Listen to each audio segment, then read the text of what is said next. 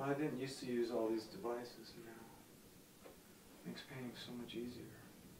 The COVID 19 pandemic provided more than enough hardships for us all, but for this local artist and his wife, it was an especially unique experience.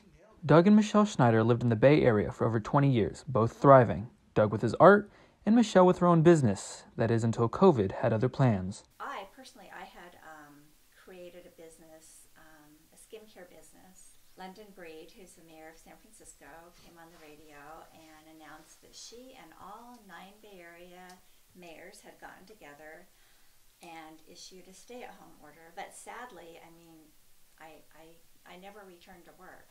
Um, I the the beautiful little business I had created um, sort of ended at that.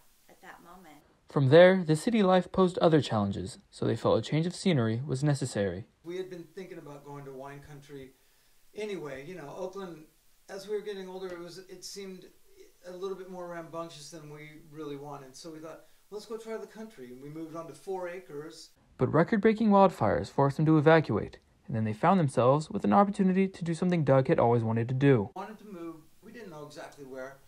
I really wanted to move to LA or New York uh, for a while now because uh, of the vibrance of the scene, the art scene. And they say making the move to the valley and being a part of the Los Angeles art scene wasn't that difficult of an adjustment. Like I, I say, I, I bring my art with me. Uh, So I bring my art mind with me and I start creating wherever I am. And while COVID is still providing many uncertainties for the Schneiders, if you ask them, they're right where they need to be. Now I have the chance to recreate my life, and you Yeah. just get to keep painting. Now, Doug is looking forward to getting his paintings back into galleries across the country.